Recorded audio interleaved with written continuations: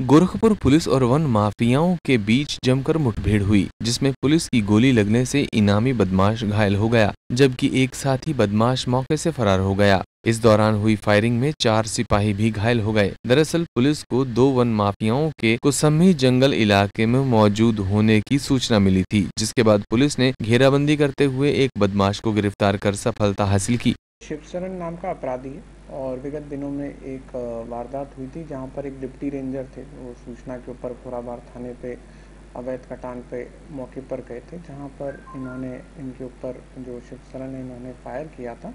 Deputy ranger को इसमें गोली लगी थी और उसके बाद अभियोग पंजीकृत किया था खोराबाग थाने में। घटना का अनावरण करते हुए पुलिस ने चार अभियुक्तों को गिरफ़्तार किया था। दो अभियुक्त इसमें फरार थे, जिसके अंदर आज जो शिव शरण जिनको जिनके साथ पुलिस की मुठभेड़ हुई है, ये भी थे। इनके पच्चीस हज़ार रुपये का इनाम था। इनकी क्रिमिनल हिस्ट्री है। अभी विगत दिनों में ये मर्डर के केस में भी जेल में गए थे, छूट के आए थे और भी फॉरेस्ट एक्ट के मुकदमे 2010 से इनकी क्रिमिनल हिस्ट्री है।